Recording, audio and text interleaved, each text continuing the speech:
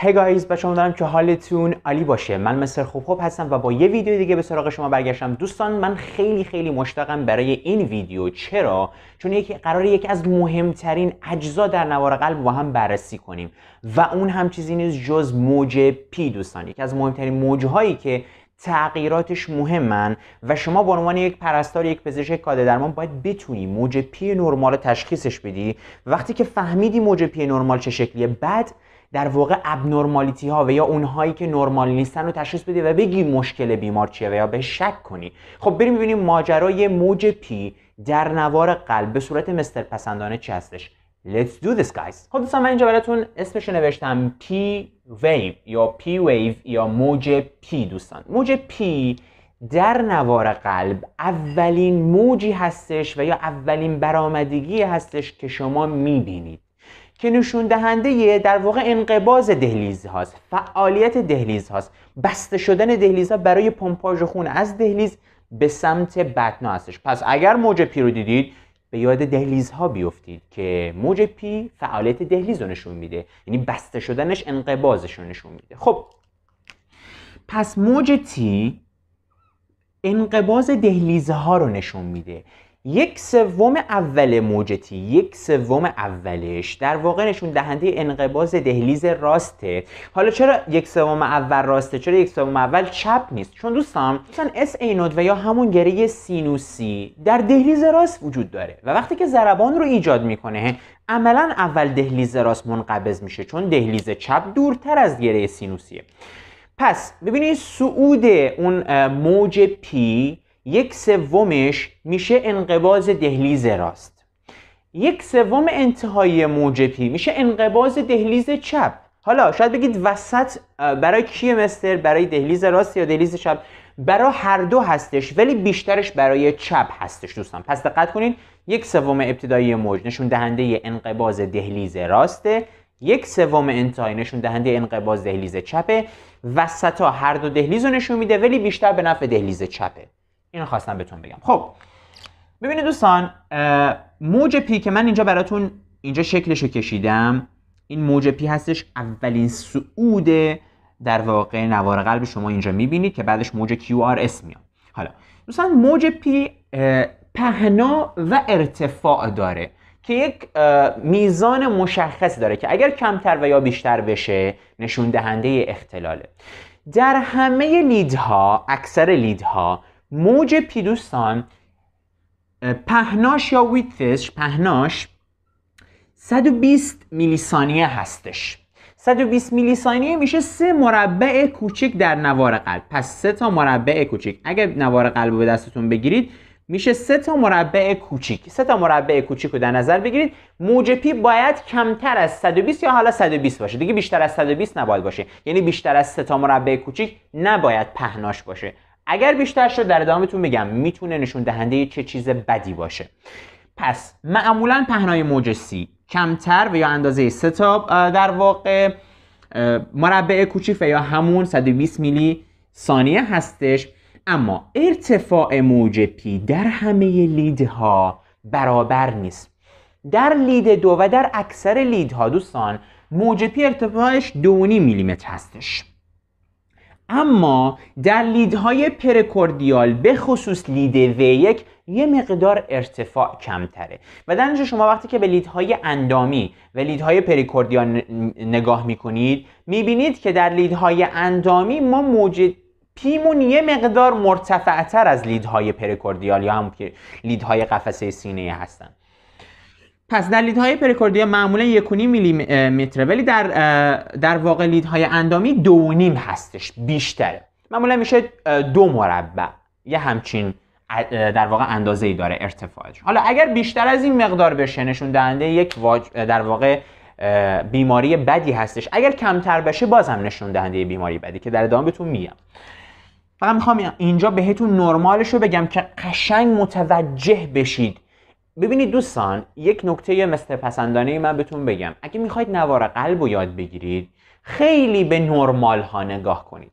شما وقتی یک نوار قلب نرمال رو از بر باشید قشنگ بتونید چشمتون به نرمال عادت کرده باشه کمترین تغییر رو حتی اگه ندونید علتش چیه می‌دونید فرد یه تغییراتی توی نوار قلب هست و این نرمال نیست. پس توصیه می‌کنم نوار قلب نرمال رو در ابتدا یاد بگیر و بعد بری سراغ اب نرمالیتی ها خب مثلا موج P wave کجا مشخص داره؟ یعنی که وقتی که داریم به نوار قلب نگاه می‌کنیم خیلی از من می‌پرسن mister به کدوم lead ها نگاه کنیم که بیشتر تشخیص بدیم موج P رو مشکلاتشو؟ خب بیا بهتون بگم. دوستان موج P در lead دو خیلی مهمه lead دو. lead دو خیلی واضحه موج P موج P در lead دو lead سه و lead AVF یعنی lead های inferior lead های تحتانی.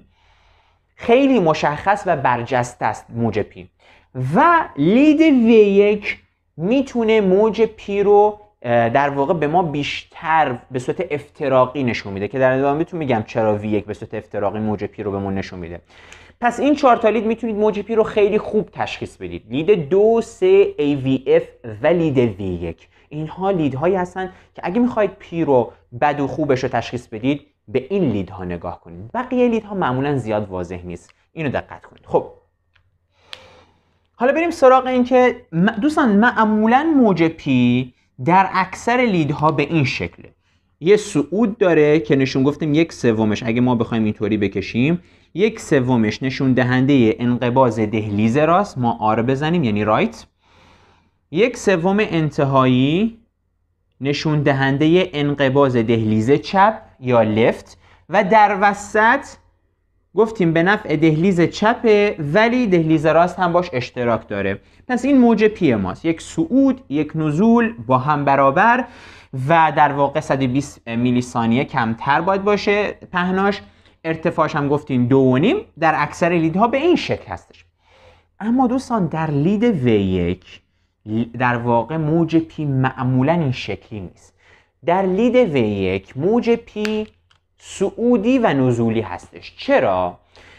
ببینید در اکثر lead ها اون direction یا در واقع هدایت انقباز دهلیز راست و چپ در یک مسیره خب و در نتیجه یکی میره بالا و بعدش میاد پایین در یک مسیره.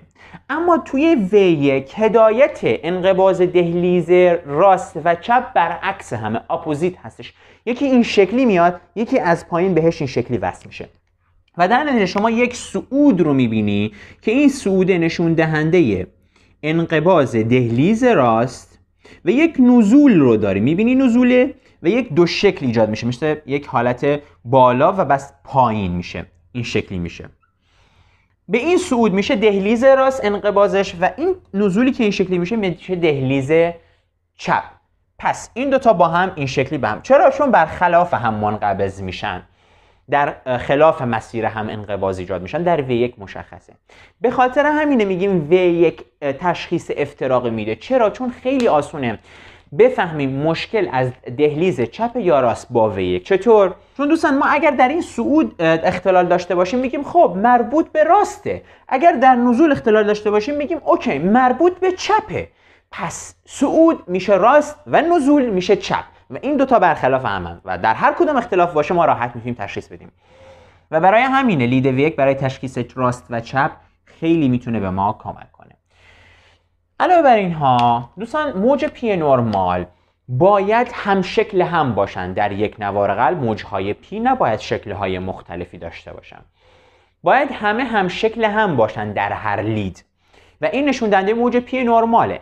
علاوه بر اون دوستان موج P باید به تعداد هم توی نوار قلب دیده بشه. نه اینکه یه جا موج P داشته باشیم یه جا نداشته باشیم یه جا داشته باشیم یه جا نداشته باشیم.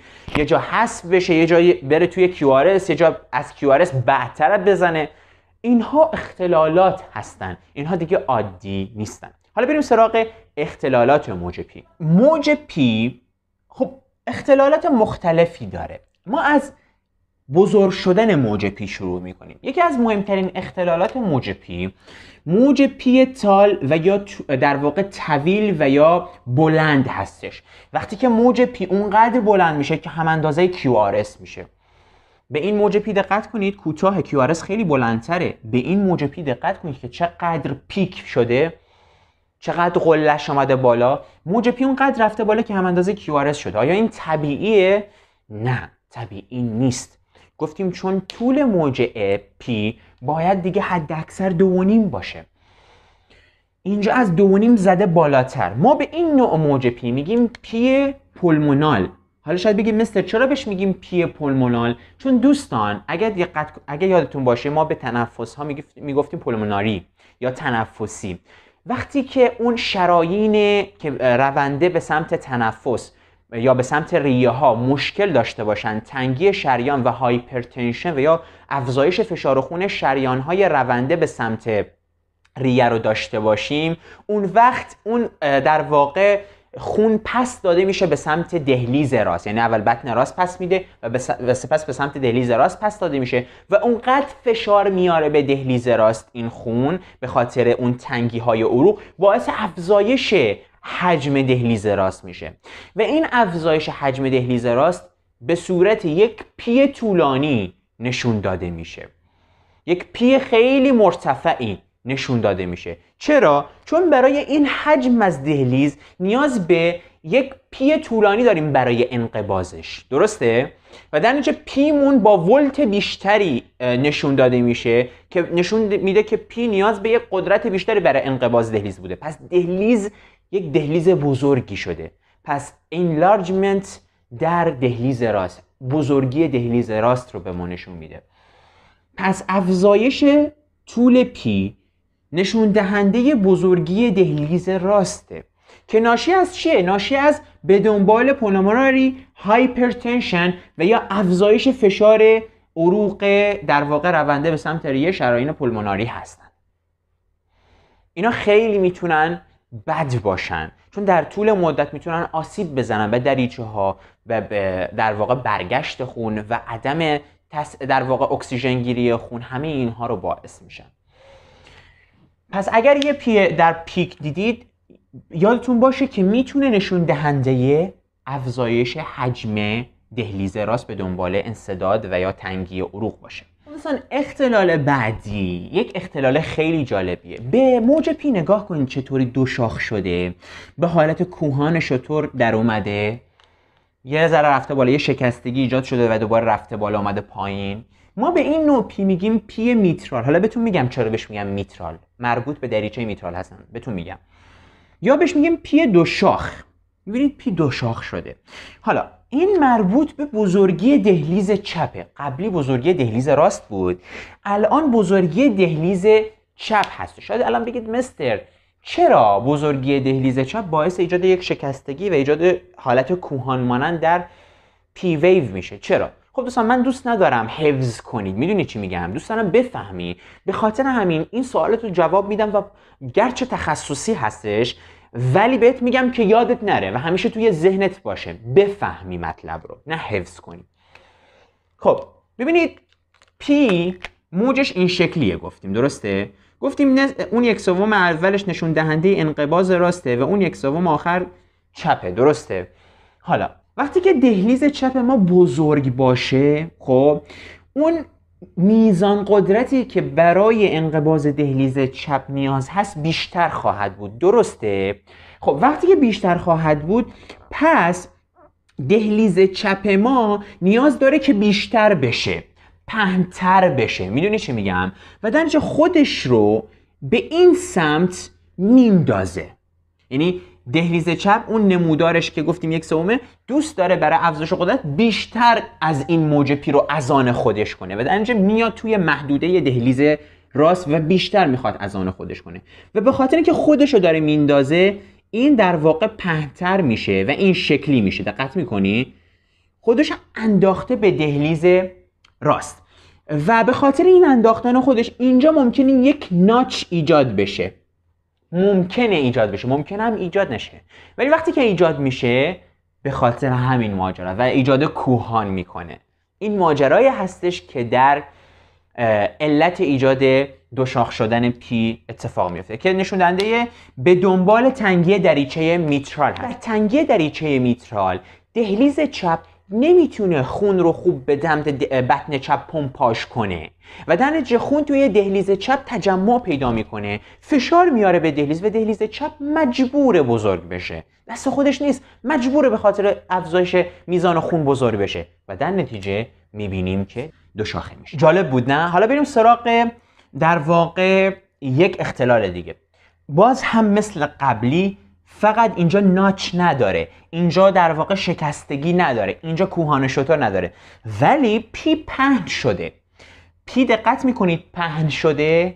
خب P کجا پهن می‌شد؟ برگردیم به قبلی. گفتیم P وقتی که دهلیز بهش فشار وارد میشه دهلیز چپ و بزرگ میشه نیاز داره به قدرت بیشتری. و در می‌خواد که بیشتر میزان P رو برای موج P رو برای خودش بذاره. خب حمله می‌کنه به میزان به در واقع اون مرز موج R و یا در واقع دهلیز راست و بیشترش رو از آن خودش می‌کنه. به خاطر همین پهن میشه موج. حالا یا شکستگی ایجاد میشه که ما میگیم P mitrale شکستگی داره یا شکستگی ایجاد نمیشه. این شکلی نشون میده خودشه که در هر دو صورت نشون دهنده پهن بودن P خب یا همون در واقع ایجاد بزرگیه حالا من اینجا براتون بد نوشتم. ایجاد بزرگی دهلیز چپ رو نشون میده در هر دو صورت دوستان حالا بریم سراغ ماجرای P معکوس یا P invert دوستان. یکی دیگه از اختلال های جالب وجود P معکوس هستش. وقتی که P برعکس اینکه این شکلی باشه به سمت پایین خودشو نشون نشون میده. همونجایی که اینجا می‌بینید. ببینید P به جای اینکه بره بالا اومده پایین و بعدش QRS داده دوباره اینجا اومده پایین و بعدش QRS داده ما به این میگیم P invert و یا inverted P wave یا P معکوس. به ما چی میگه؟ میگه آقا P شما از گره سینوسی نیست. گره سینوسی اگه می‌خواست P تشکیل بده P ش عادی به سمت بالا یه چیز نرمالی بود. الانی که P به سمت پایینه آقا جان source و یا منبع P ت گره سینوسی نیست. شاید بگی خب mister مگه ما جز گره سینوسی چیزی داریم که ضربان تولید می‌کنه که بخواد P از اون باشه؟ بله. در خیلی از افراد در واقع جاهای دیگه از بطن و یا جاهای دیگه از دهلیز فعال میشن به جای گره سینوسی تولید ضربان می‌کنن ولی توی نوار قلب به صورت معکوس دیده میشه. پس موج P معکوس نشون دهنده یک ضربان خارج از S node حالا چه توی دهلیز چه توی بطن. شاید الان میگی mister OK من از کجا بدونم که این ضربان توی بطن یا توی دهلیزه خب بیا بهت بگم از کجا می‌دونی ضربانی که از S node نیست؟ از دهلیزه از بطن از کجاست؟ بیا بهتون بگم. دو تا افتراق داریم. ببینید PR interval یا مدت زمان ابتدای شروع P تا QRS یا بهتون بگم یعنی از کجا تا کجا. ببینید اینجا رو من می‌خوام بهتون بگم PR چیه. ببینید اینجا مگه شروع P نیست. اینجا مگه موج R نیست. خب از شروع P تا ابتدای QRS و موج R رو میگن PR یعنی هم موج P هم اون فاصله که بین موج P و QRS وجود داره با هم میگن PR اینتروال که نشون دهنده یک سری از در واقع فاصله بین انقباز دهلیز تا انقباز بده و نشون دهنده یک سری از اختلاط اگر زیاد و کمتر بشه. حالا به این کاری نداریم. اما می‌خوام اینو بهتون بگم. اگر دیدید که پیتون برعکس شده دو تا می‌خواد بدونید که اون برعکس شدن که می‌دونید الان یعنی اینکه یه،, یه جایی داره به جای اسینات ضربان تولید می‌کنه. می‌خواد بدونید که اینجا توی دهلیزه یا توی بدنه ببینید اگر پی آرتون بیشتر از 120 تا باشه از 120 میلیمتر بر ثانیه بیشتر باشه چون نرمالش از 120 تا 200 تا است PR اگر بیشتر از 120 تا بر ثانیه باشه یعنی source تون منبعتون توی دهلیزه. خب؟ پس source و منبعتون توی دهلیزه. یعنی هر جا داره تولید ضربان می‌کنه توی دهلیز داره تولید ضربان می‌کنه.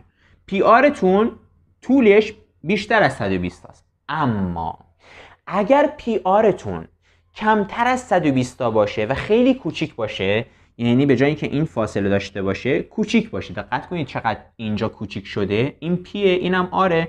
چقدر کوچیک شده. PR ی اصلا ما نمی‌بینیم. خیلی کمه. یعنی به جای اینکه اینقدر چیز باشه اینقدر فاصله داشته باشه فکر بکنید این شکلی بشه. مثلا این شکلی. P بزنه. PR ببین چقدر کوچیکه کمتر از 120 میلی بر ثانیه باشه. اینجا میگیم که source و منبع ضربان ما از بطنه نه از دهلیز. خب junctional accelerate junctional rhythm هستش. یعنی از بطن در واقع ریتم junctional تصحیح شده تو بطن هستش. از اونجا source منبع ضربانمون هست و این افتراق رو توی ذهنتون قرار بدید. حالا بریم سراغ P multiform وقتی که به نوار قلب نگاه می‌کنید باید P ها گفتیم همشکل باشن. اما توی یک سری از نوار قلب ها P ها همشکل نیستن و هر کدوم به یک شکله. ما به این نوع نوار قلب میگیم P multiform که نرمال نیست. بیشتر توی چه افرادی دیده میشه؟ توی افرادی که COPD دارن مشکلات انسدادی ریوی دارن و یا CHF مشکل نارسایی احتقانی قلب دارن. توی این دوتا ما می‌تونیم P های multiform و یا P های چند شکل داشته باشیم. که ما بهش میگیم P multiform که در کجا دیده میشه این P های multiform در ریتم junctional بطنی دهلیزی به دنبال COPD و CHF اما اگر این پی ها حداقل سه تا شکل مختلف داشتن از سه تا به بیشتر کمتر از سه تا نه سه تا شکل مختلف یا بیشتر از سه تا داشتن. و علاوه بر اون ریت ما یعنی میزان ضربان ما تاکیکارد بیشتر از 100 تا بود ما به این اختلال میگیم MAT یا در واقع تاکیکاردی دهلیزی multi شکل خب به صورت multiform می‌بینی تاکیکاردی دهلیزی رخ میده.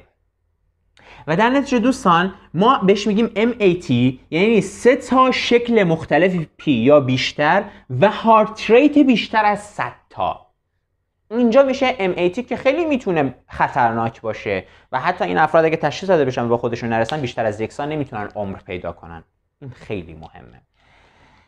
و در اینجا می‌بینید چی؟ multiform شده. نگاه کنید به این P نگاه کنید و بعدش QRS بعدش T. دوباره به این P نگاه کنید. آیا شکل این P شبیه این P ئه؟ نه. بعد به P بعدی نگاه کنید این P بعدیه. آیا شکل این P شبیه این یا شبیه اینی هست؟ نه. و چون سه تا P مختلف داشته باشیم یا بیشتر و بیمار تاکیکارد باشه یعنی heart rate ش بیشتر از 100 تا باشه اون موقع میشه MAT تشخیص داده شد. پس اینم توی ذهنتون قرار بدید. حالا بریم سراغ P غایب absence P wave در یک سری از نوارهای قلب دوستان ما P نداریم. نمی‌تونی ببینیش. این جالبه. اگر P رو ندیدی ببینید اینجا یک ضربان قلبی داریم که منظمه ولی خیلی سریعه. مثلا داره 150 تا می‌زنه یا حتی 200 تا می‌زنه. خیلی سریع heart rate P نداری. موج P نداری. فقط موج T رو تو می‌تونی ببینی. ولی P قبل از Q تو نداری و ریتمت منظمه نامنظم نیست. وقتی که ریتمت منظم باشه و P نبینی این یعنی چی؟ یعنی SVT یا همون PSVT یعنی تاکیکاردی فوق بطنی همونی که باید آدنوزین بدی. یعنی همونی که یک دفعه شروع میشه. همونی که به دنبال استرس شروع میشه. همونی که به خاطر وجود پدیده reentry شروع میشه. این ماجرای PSVT حالا بریم سراغ یه P غایب دیگه. حالا اگر P ت غایب بود ولی ریتمت نامنظم بود. اینجا منظمه. ولی اگر P غایب بود ریتمت نامنظم بود اون موقع دیگه نمیشه PSVT نه. میشه AF fibrillation دهلیزی. AF یا fibrillation دهلیزی باز P نمی‌بینی. یک از مشخصاتشه. نمی‌تونی P رو ببینی. ولی نامنظمه. هم نامنظمه هم P رو نمی‌بینی. اینجا منظم بود P رو نداشتی. اونجا نامنظم P رو نداریم. میشه fibrillation دهلیزی یا فیبریلاسیون دهلیزی که در واقع درمانش کاملا متفاوت خواهد بود. یه جا دیگه P رو نمی‌بینی که من اینجا براتون رسمش نکردم چون جا نبود. توی ویتک. توی ویتک شما فقط QRS های پهن پشت سر هم رو می‌بینی. چرا؟ چون source ت از, از اسمش معلومه. تاکیکاردی بطنی.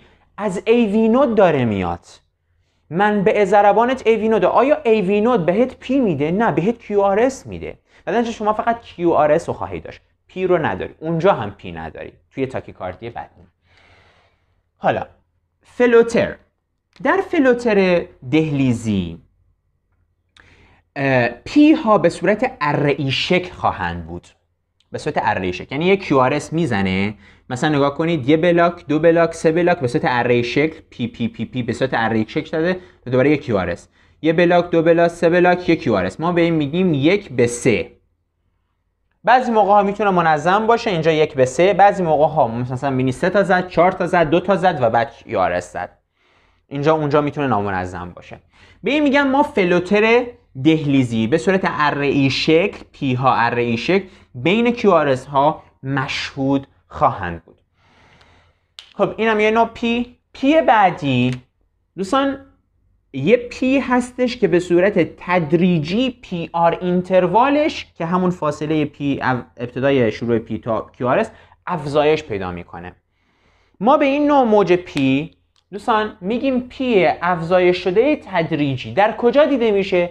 در block درجه دو یک. نوع یک یعنی Mobitz یک یعنی Wenckebach. به اینجا دقت کنید این موج P دیگه. خیلی نزدیک به QRS بعد QRS زده بعد موج T. اینجا موج P فاصله گرفته از QRS اینجا موج P خیلی نزدیک بوده. گفتیم در نرمال فواصل موج P تو QRS در همه ضربان ها یکی باید باشه. اینجا فاصله نگاه کن اینجا فاصله چقدر طولانی شده؟ بعد اینجا فاصله بیشتر از قبلی شده. همینطور فاصله بیشتر و بیشتر شده تا یه جا P زده ولی QRS نزده. همینطور فاصله بیشتر بیشتر شده. یه جا P زده ولی دیگه QRS نزده. این میشه در واقع درجه دو Mobitz یک یا همون Wenckebach که اینجا ما باز هم می‌تونیم بگیم موج P مشکل داره. یکی دیگه از مواردی که خواستم بهتون بگم موج پی در V1 هستش. چرا که موج پی در V1 یک شکل خاصی داره که می‌خوام بهتون بگم که توی ذهنتون قرار داشته باشه. ببینید V1 همونطوری که بهتون گفتم به صورت بایفازیک هستش میره بالا و اونم از پایین میاد. این به صورت نرمالشه. این انقباز دهلیز راسته این انقباز دهلیز چپه. نرمالش اینه. حالا در بزرگی دهلیز راست که گفتیم اینجا P افزایش داره در lead های بجز V یک می‌بینیم یک P بلند هست. ولی در lead V یک بیا بهتون بگم به چه شکل میشه. در lead V دوستان اون قسمتی که مربوط به دهلیز راسته گفتیم چون دهلیز راست بزرگ شده نیاز داره که بیشتر بزنه قوی تر باشه. پس باید طولانی تر باشه بلندتر باشه دیگه. در نتیجه اینجا می‌بینیم پی در واقع دهلیز موج دهلیز خیلی بالاتر از اون در واقع نزولی بوده. اینی که مربوط به لفت هستش. موج دهلیز دراز خیلی بالاتر شده. بدن شما می‌بینید یک چیز خیلی بلندی رفته بالا ولی یک کوچیک اومده پایین. این نشون دهنده بزرگی دهلیز راسته به خاطر میگم وی یک افتراقی کمکتون می‌کنه دهلیز راست یا چپ مشکل داره. اما در بزرگی دهلیز چپ چپ اینجا می‌خواد چون بزرگی می‌خواد قوی تر باشه دیگه درسته؟ در نتیجه خودش رو بزرگتر می‌کنه. در ما می‌بینیم نزولی پهن و بزرگی داریم ولی سعودیمون کوچیکتره. این میشه در واقع بزرگی دهلیز چپ. خب این بود خلاصه ای از انواع اشکال موج پی و اینکه چطوری می‌تونید تشخیصشون بدیم نرمالش رو بهتون گفتیم و کلی نکته جالب دیگه. امیدوارم که از این ویدیو نهایت لذت رو برده باشید.